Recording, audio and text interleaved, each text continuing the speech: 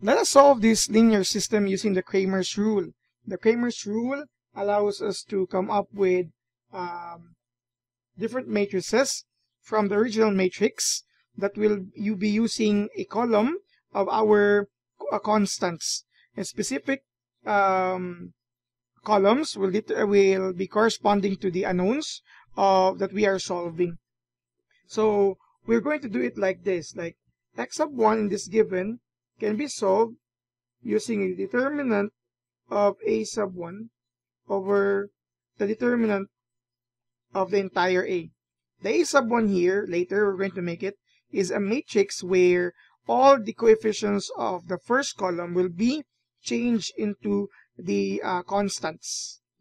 This is also true with x sub 2 is equal to the determinant of a sub 2, you see the same concern, all over the determinant of a.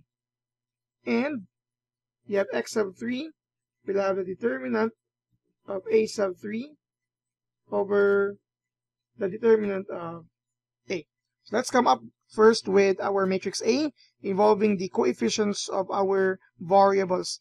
So your A, you will have here 1, negative 3, and 1. We will not include the constants yet.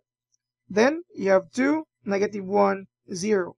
And then 4, 0, negative 3. This is our A. Okay, so we can compute the determinant of A already from here. So the determinant of A is a result for this. We'll have 1 times negative 1 times negative 3 is positive 3 plus here you have negative 3 times 0 times 4 so we know that to be 0 plus next you have 1 times 2 times 0 we also know that to be 0 then minus the opposite direction.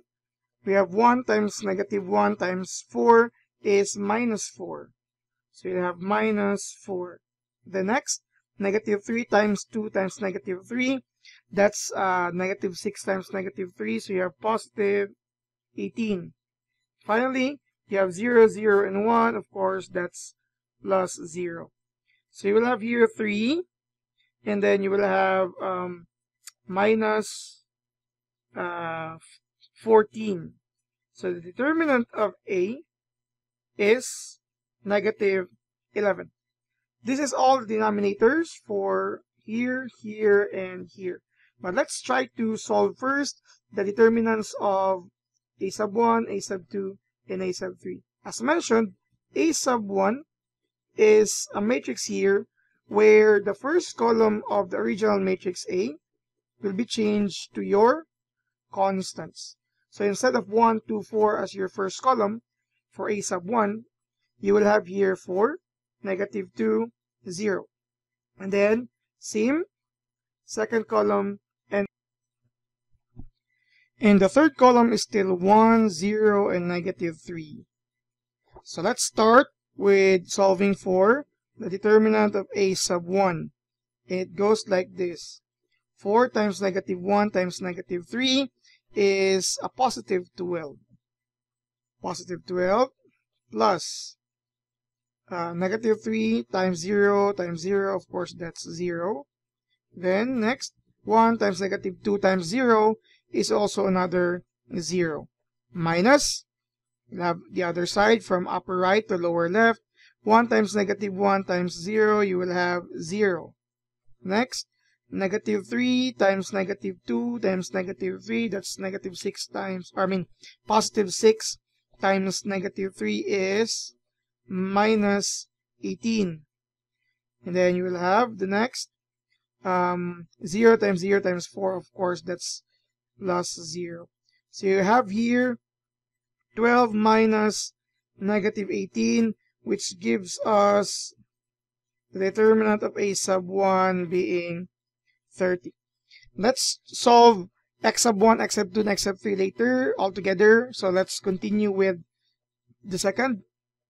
I mean a, a sub 2.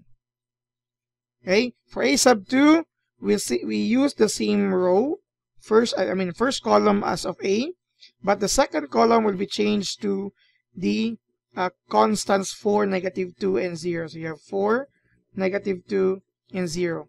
You will still use the same third row 1, 0, negative 3. So the determinant of a sub 2 is equal to 1 times negative 2 times negative 3 is positive 6.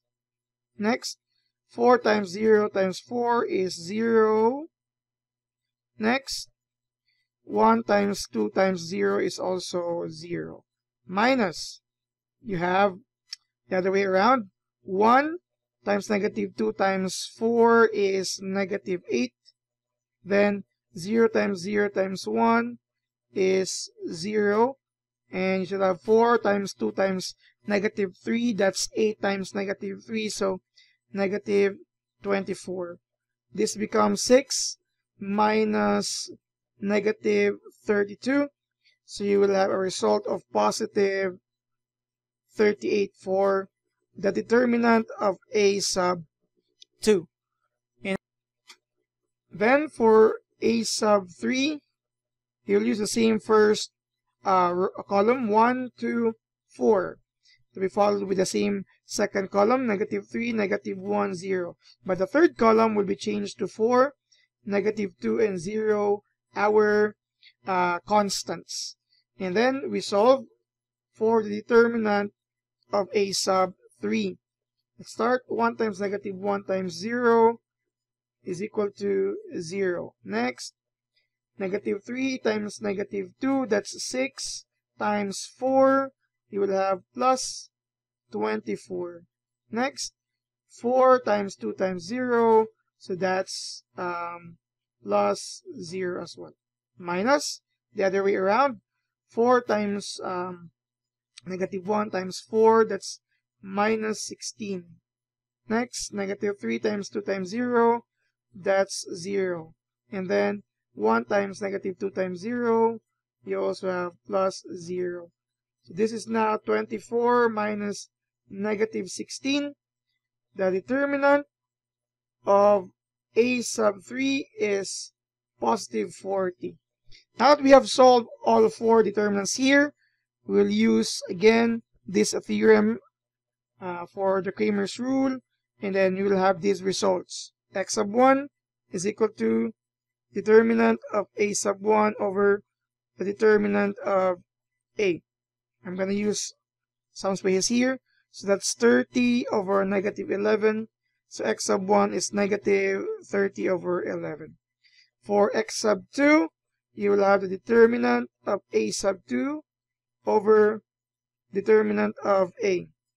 So you have here 38 over negative 11.